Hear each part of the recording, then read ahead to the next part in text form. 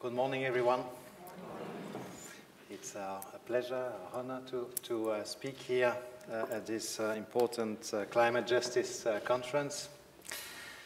I have a lot to tell you. I've received a long list of the issues I had to cover during my talk, so I will try to address all of them. I know I have too many slides. I know it. but you will all have them afterwards. And, and, some of them, on some of them, there's a lot of text. I don't want to read that. I don't want you to read that here. But sometimes it's to make sure that you are aware that these subjects are covered in the IPCC report. There's a reference to, to it at the bottom of the slide, and it would help you to uh, dig in further if, if you wish. So my apologies for going sometimes fast on a few slides. I will go also slow on some other slides at some points. And inspired by Elise yesterday, I will start with a poem, maybe justifying such a long talk on, on the science of climate change at the beginning of, of the day. It's from a Senegalese poet. In the end, we conserve only what we love he wrote. We will love only what we understand, and we will understand only what we are taught. So I'd like to um, um, use as much as possible in my talk uh, and in my teaching this morning uh, the uh, content of the IPCC report. The IPCC stands for the Intergovernmental Panel on Climate Change, for which I have the honor to be one of the vice chairs. It's a panel of experts uh, which has been established a little more than 25 years ago by two UN organizations, the World Meteorological Organization and the United Nations Environment Programme, not to do additional research on climate change, but to do something that's even more original in a sense, and that's to provide policymakers and all citizens of the world with the best assessed, digested, if you wish, information uh, about the different dimensions of climate change, the science itself of the climate uh, system, the science of impacts and adaptation and vulnerability, and the, uh, the science, and when I say the science, it's in the broadest sense, the science of uh, emission reductions, uh, what we call mitigation. The three main questions that the IPCC uh, tried to answer in its uh, last report, the fifth report, um, published uh, in 2013 and 2014, are the following. What is happening in the climate system? What are the risks? What can be done? And as I told you, I have too many slides. So in one slide, I will attempt to summarize the 5,000 pages of that report. so at least I've done that. And after, if I'm short of time at the end, you, you had the, the essential messages here. Human influence on the climate system is clear. This is a quotation from the last report. It doesn't contain any, ambigu any ambiguity. It's a clear message. Continued emissions of greenhouse gases will increase the likelihood of severe, pervasive, and sometimes irreversible impacts for people and ecosystems. And it's a general rule, unfortunately, as we heard yesterday, and this is also very well reflected in the IPCC report, that the poor uh, are most affected and first affected uh, in many uh, of those uh, impacts. And that's both in developing countries and in richer countries. While climate change is a threat to sustainable development, there are many opportunities to integrate mitigation, adaptation, and also, and that's very important, the pursuit of other societal objectives, such as increased um, uh, air quality or water quality, and, um, improved energy and water access, access to clean energy, uh, eradication of poverty. There are ways to integrate uh, the fight against climate change or to adapt to climate change and the pursuit of some of those other goals. That's very important. In summary, humanity has the means to limit climate change and build a more sustainable and resilient future. Uh, one thing I forgot to mention is that I changed the title if you, of my speech. If you, if you read the title of my speech, you, you, you read that I spoke about the hidden message of the uh, IPCC report. And remember that because I will reveal the hidden message only at the very end of my, my talk. Now, we're talking about climate change. Maybe first we, we need to make sure that climate is indeed changing. You know, there are people who are spending a lot of energy and sometimes money uh, to sow doubt about this um, issue. And they show you this kind of curve. You know, the temperature, the global temperature for the last 15 years. And, um, well, it's, it's hard to get a strong impression looking at, those, um, at that uh, figure that climate is warming, isn't it? Well, actually, you could have done that many times over the last hundred years by cherry picking a starting date and a, an end date. And you could have argued that many times over the last century, the temperature has been uh, cooling has been decreasing, really. This is lying with statistics. This is cherry picking. You really need to take, to look at the trends. You need to look at uh, the, the whole series uh, and uh, remember also that climate is not defined over a 15-year period, but at least over a 30-year period. Actually, and this is from the last IPCC report, if you compute decadal averages uh, you see that the last three decades have been successively warmer than each preceding decades, and even that the last 30-year period, as in the northern hemisphere at least, for which there are data, um, probably be the, um, the warmest of the last 1400 years, the warmest of the last 1400 years. But there are many other indicators that climate is indeed changing. Look at this glacier in Alaska, uh, as it was in 1961. Look well where the ice is. This is where it was 10 years ago. Disappeared. This is the, the, uh, the behavior of most glaciers uh, in the world today. Melting glaciers contribute an additional amount of water to the oceans, and this is one of the factors leading to an increase in sea level at the average um, scale. Uh, sea levels has, average sea level has increased by approximately 20 centimeters over the last 100 years, as you can see here.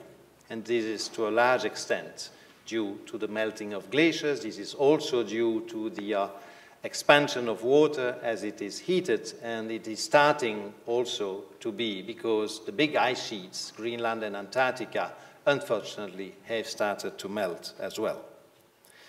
There are other changes in the atmosphere, in the climate system happening. For example, the increase in the CO2 concentration measured here in Hawaii on top of a dead volcano uh, for the past uh, 50 years or so. And as you can see, we have reached uh, now uh, approximately 400 parts per million so we are talking here about the concentration in the atmosphere, the, percent, the percentage, but the CO2 percentage in the atmosphere is very small, so it's measured in parts per million, ppm, and we are now close to 400. But this is very new in the uh, recent history of the planet, because as you can see here, for the last 800,000 uh, years, I repeat, for the last 800,000 years, the concentration has only changed between approximately 180, 180 and 280 ppms.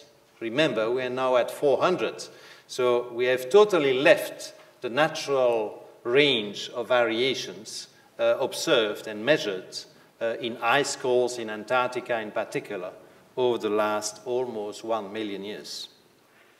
Why is this important? Why is this small quantity of, of a gas in the atmosphere so important? Well, because it is um, changing the energy balance in the atmosphere. If we didn't have the so-called greenhouse effect, we would have a balance between the energy coming from the sun, shown in yellow here, and the infrared radiation, the heat that is emitted by the surface of the planet in response to the heating by the, uh, by the sun. And the balance between those two kinds of radiation, one visible, the other one invisible, uh, would lead to a temperature which on the average would be minus 18 degrees C.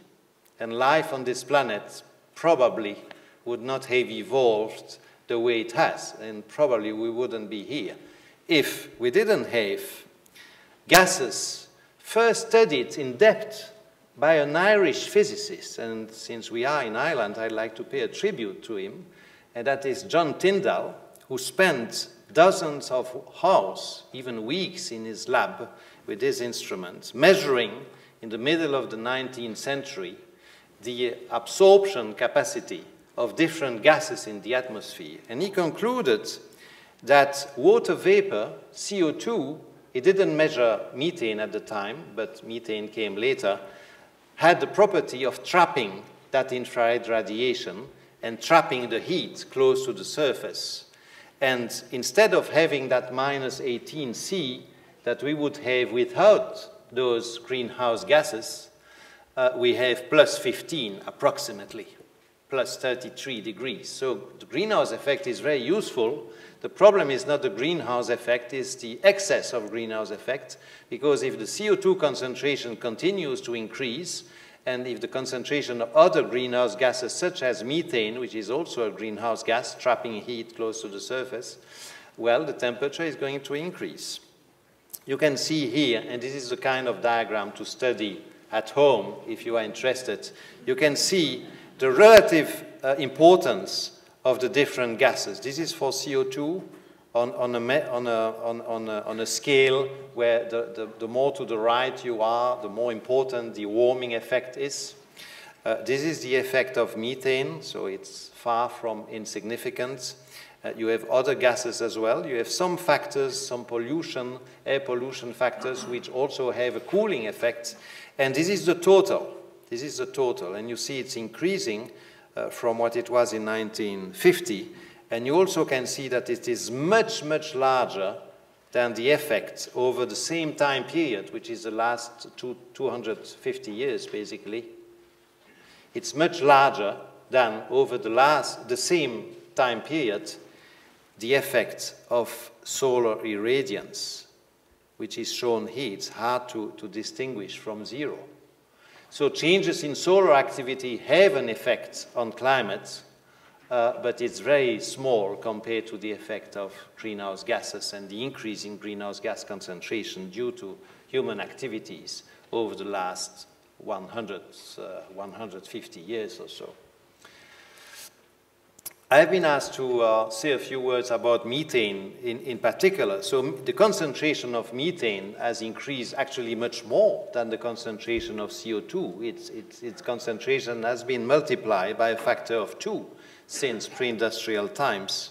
And this is mostly due to the massive um, uh, increase in the number of ruminants, uh, the emissions from fossil fuel extraction as well, because um, you should know that natural gas is, is mostly constituted of methane, which is a, a powerful greenhouse gas. Uh, one kilogram of methane is equivalent to 25 kilograms of CO2 if you look at the effect over a century time period. And there are also emissions of methane from landfills and uh, organic waste.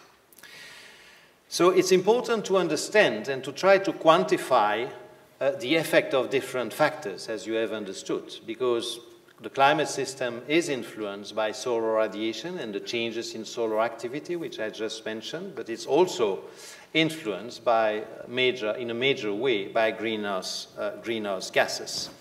And I'd like to show here uh, the results of an old climate simulation made in my institute uh, more than, 20, uh, than uh, 15 years ago, showing the separate effects over the last 150 years of greenhouse gases, that's the red curve, in terms of warming, almost a degree, if only that factor was active, of the small changes in solar activity, and you see it has a warming effect, it has had a warming effect, but much smaller than the greenhouse gases, and also sometimes it's an increase, sometimes it's a decrease. Uh, you have the green curve showing the effect of volcanoes, because when there's a big uh, volcanic eruption, there's a cooling effect because of all the dust causing some shadow effects and preventing some of the solar heat to uh, reach the surface. And then the blue curve there, the, the blue curve there is coming from the, the, classic air pollution. And it also has a, a shadowing effect, a cooling effect. When you combine all those factors, actually, uh, that relatively old model now, 15 year old, was quite able to reproduce uh, the, the black curve, which is the observed temperature. So the models are, very important tools in, in the, uh, in the uh, study of the climate system. And uh, uh the, this, these tools are used to, um, uh, today to quantify uh, the solidity of the link between human activities and climate change. Because if there isn't a solid link, and if it was only human factors, well, it would be hard, harder at least to discuss climate justice and, and the, the, the contribution of humans uh, to, to the uh, solution to the problems. Um, so I'd like to show you again this observed temperature curve uh, and the result of two types of simulations made with modern models but it's uh, in a very similar way to, to what I've just shown you uh, for the different uh, factors. The blue curve is obtained by forcing the model, by feeding the, the climate models only with natural factors. Natural factors being uh, mostly uh, the, the small changes in solar activity and the volcanic eruptions. And the red curve is obtained by forcing, feeding the models with all factors not only the natural factors, but also the human factors, the greenhouse gases, and the classic air pollution. And as you can see, at the time of the assessment report number one, AR1, in IPCC, that was published in 1990, well, there was a difference between the blue curve and the red curve, and the red, red curve is um, uh, closer to the uh, observed temperature. But the, the, the, thick curves are, are, the averages, and some of the simulations were, were not, um, uh, there was a range around those averages. And so the IPCC scientists were very cautious. They didn't accept this as sufficient to conclude in 1990 uh, that um, human activity was really needed to explain the warming. So it said unequivocal detection is not likely for a decade. Actually, a decade was not needed because in 95, at the time of the AR2, the assessment report number two, it said the balance of evidence suggests a discernible influence of human activities over the last 50 years. Then, as time went by, as you can see, the divergence between the two types of simulations increased. It became clearer and clearer that without the human factors, there was no way to reproduce the observed temperature evolution. And so in 2001, it said most of the warming of the past 50 years is likely, likely means two changes out of three, due to human activities, etc., etc., sorry. Uh, and to, to the last report, the last report said it's extremely likely, a probability of 95 percent, that human influence has been the dominant cause. So there is a link between the uh, increase in the concentration of greenhouse gases in the atmosphere and the warming. But we have to understand where that increase in the concentration of CO2 in particular, CO2 is the main human uh, greenhouse gas uh, it's about causing 80, percent of the uh, increase in the heat trapping around the planet. So we have to understand a little better uh, the connection between emissions of CO2 and the increase of the CO2 concentration in the atmosphere. And this, this slide is a slide I will spend a little more time uh, because I think it's very important and very policy relevant, actually. First, um, in this unperturbed carbon cycle, you have two big loops. Exchanges between soils and vegetation on the left loop and the atmosphere, and the numbers there are labeled in gigatons of carbon, billion tons of carbon per year. Emission, a little less than 120, 120. Absorption, 120 gigatons per year. The same for the oceans, a big loop there, emissions in the warmer part of the oceans of a little more than 70 billion tons per year, absorption uh, of 70 billion tons per year um, in the colder part of the ocean because water, cold water absorbs CO2 better than warm water. Now, we have perturbed uh, these um, big loops, which were perfectly in balance, because if you add up the numbers, you had 190 going up, 190 going down. So as long as those numbers were equal, even there were, if the numbers are high, the uh, CO2 amount in the atmosphere remains perfectly stable. But we have affected this delicate balance, this delicate balance which had been stable for the last 10,000 years, um, in this way. And these numbers are for the last decade of the 20th century, but we're just explaining the process, so unfortunately the numbers have increased, but to explain the process we can do it with, we can do this with these numbers. So emissions were of the order of 8 billion tons at the time per year, 8 billion tons of carbon per year. And if you translate the increase in the concentration that was observed into an absolute amount, a quantity of additional carbon, additional CO2 in the atmosphere, you came up with the conclusion that uh, what was added every year was 3.2 billion tons of carbon in the atmosphere. So there's um, a mystery there at first sight. We, are, we were emitting 8 billion tons, mostly through the burning of fossil fuel, coal, oil, and gas, to a lesser extent also through deforestation. And a little less than one half of that was found in the atmosphere as uh, a, remain, a remaining quantity. Well, the other, the other half, I'm rounding numbers, actually was absorbed uh, by vegetation, by increased uh, absorption by vegetation and soils, and also in part by the oceans. So CO2 accumulates in the atmosphere because we are emitting approximately two times more than what natural systems can absorb.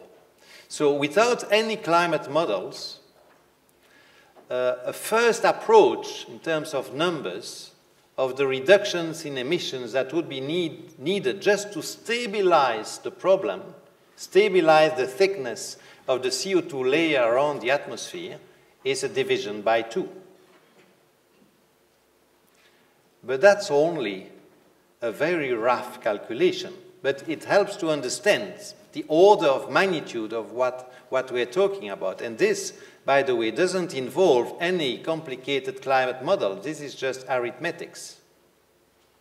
Since natural systems absorb half of what we emit, well, we have to emit one half of what we emit now so that there is a balance. Well, that's a simplified calculations, of course, but it helps to understand the order of magnitude of what we're talking about. But it's more difficult than that for many reasons. One reason, for example, is that vegetation is, is absorbing part of what we are emitting, but we are also deforesting. So, of course, we are cutting literally the branch on which we are seated because we are destroying some of the absorptive capacity uh, that is helping us. And also, as climate is warming, and uh, as I told you, water absorbs CO2 better when it's cold, well, there will be less and less absorption in the ocean in the long term. So if there's less absorption, it, means that, it means that the, the, the proportion, the quantity that will remain in the atmosphere will become pro progressively larger. For all those reasons, dividing emissions by two is actually not enough to um, really uh, stabilize the, the temperature. This, the understanding of this carbon cycle, the main elements of this carbon cycle, is very important because it's also related uh, to climate justice, actually. Because it means that emissions, which mostly occurred in developed countries up to now, in terms of global percentage, have accumulated in the atmosphere and remain, I mean, a part of those, remain in the atmosphere for a long time. Uh, which means that it's not only today's emissions which matter, it's also past emissions, historical emissions.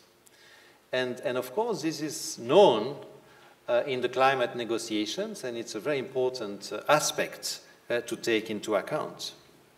And it also is related to something I'll um, discuss a little later, uh, the fact that the warming is very much a function of the accumulated emissions of carbon, uh, which led to the notion of carbon space and narrowing carbon space as emissions uh, are continuing. Where are those uh, CO2, global CO2 emissions coming from in terms of activity? Well, mostly uh, as far as the um, uh, CO2 is concerned from fossil fuel burning and to a lesser extent, as I said, from deforestation. In terms of sector, and sorry, uh, the, the, black is not very readable there, my apologies. 35% uh, from the energy sector, that's the, the biggest um, um, circle there. 24% uh, from agriculture, forest, and other land users, uh, so a significant amount. And we're talking here not on CO2, but uh, overall greenhouse gas emissions, so including methane, N2O, uh, CFCs, and other, other gases uh, which have a greenhouse effect. 21% industry, 14% transport, and 6.5, um, 6.4 the building sector. Now that we have understood that human activities uh, really play a very important role in the observed warming we can look at the future. And to look at the future, we have to use scenarios for the possible evolution of the concentration of CO2 and other gases. And this is for CO2, the four main scenarios considered. From the red scenario on the top, which is a business as usual scenario in our jargon, my apologies for the complexity of the name, it's called the RCP 8.5. Uh, and the bottom scenario at the other extreme, which is called the RCP 2.6, and which, as you can see, stabilizes essentially over the next 300 centuries uh, the concentration more or less at the present level or slightly below. This is for CO2. You have the same here for methane. Uh, you can look at that um, uh, later. Uh, and this is what happens when you feed those numbers, those scenarios to climate models. And I only, only show you the two extremes, the, the top scenario, which is essentially a business as usual scenario, and the lowest scenario. And you can see that the lowest scenario provides an increase in temperature uh, of approximately one degrees, one degree Celsius above the present temperature. But we have had a warming of a little less than one degree already, so this is approximately a two degree warming, while the business as usual scenario, the red scenario, leads, thank you, leads to um, uh, an increase in temperature of the order of four degrees above uh, the present temperature, uh, or, and that means five degrees above pre-industrial. This is a bit abstract because these are average numbers. Let's look at what it means, for example, for India, for the top scenario in the worst case. Uh, this is um, on top of the high temperature India has, and you may have uh, heard a few weeks ago uh, the, um, the, the, uh, the, news about the, the death of a few thousand people because of heat waves just before the monsoon arrived in India. So if you add up several uh, degrees, five, seven, up to five or seven degrees in India by the end of cent the century, uh, you can imagine the uh, human uh, consequences in that region. It would also, sorry for the French, it would also be changes in um, in the amount of precipitation on the left for the lower scenario, on the right for the, the top scenario. Uh, and uh, here, uh, for example, in Northern Europe, in the top scenario, uh, it would mean in most of Northern Europe, and Ireland is part of that, an increase in the uh, uh, average precipitation amount, while in North Africa and the southern part of Europe, it would mean a decrease with all the impacts you can imagine on agriculture. Sea level is due to continue to increase, of course, much more in the top scenario than in the bottom scenario, but sea level is, uh, has a lot of inertia uh, in the system, so it would still increase uh, in the lower scenario by at least 30 centimeters by the end of the century.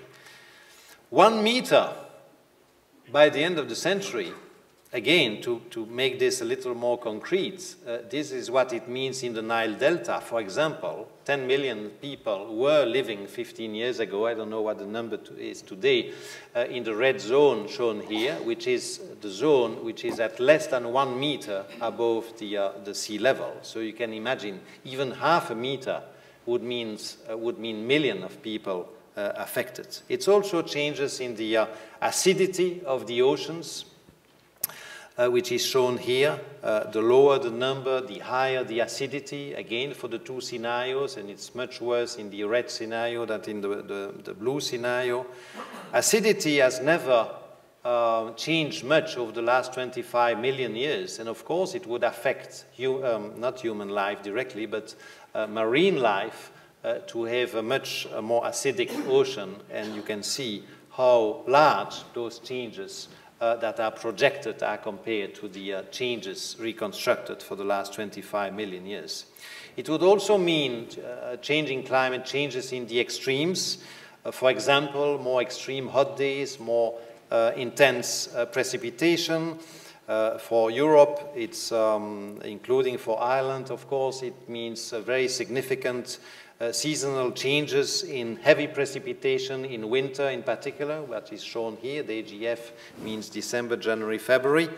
Um, but also um, in many other areas. For example, in Kenya, a, a study that's uh, quoted in the IPCC report uh, estimated that under a range of scenarios by 2050, more than 300,000 people could be flooded per year under high emission scenario. So impacts are really underway in, in a very wide manner, from the tropicals to the pole on all continents and the ocean, uh, affecting rich and poor, but as I said, uh, the poor are more vulnerable everywhere, and this is illustrated uh, on this picture showing um, something happening during the Katrina uh, tropical storm 10 years ago, and reminding us that risk is not only a function of the uh, geophysical hazards, the changes in uh, uh, physical parameter like sea level or intensity of wind during a tropical storm or whatever, but it's also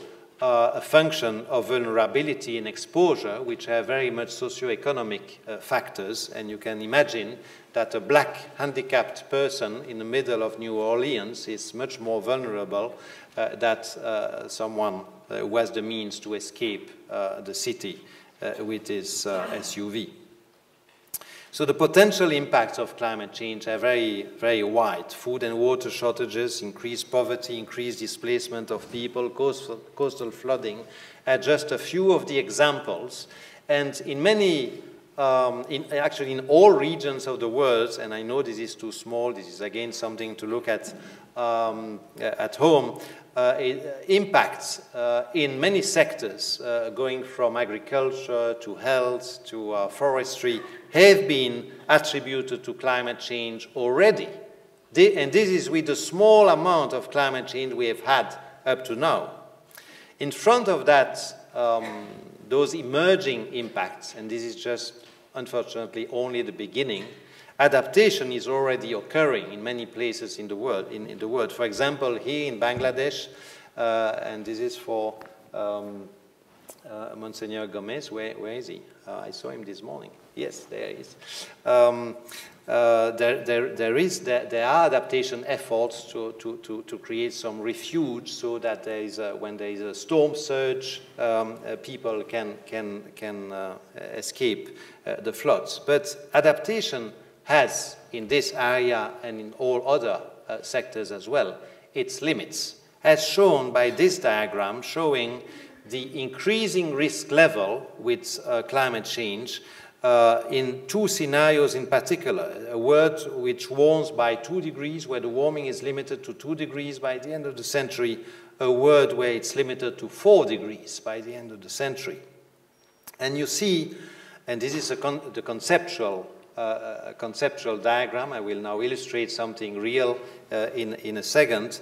You see the um, risk level uh, which increases when you go from the 2 degree world to the 4 degree world. You also see what is dashed here, uh, the um, amount of risk that can be reduced through adaptation. So adaptation in the example here, in the conceptual example here, has the potential to decrease uh, the, the risk, which is most welcome.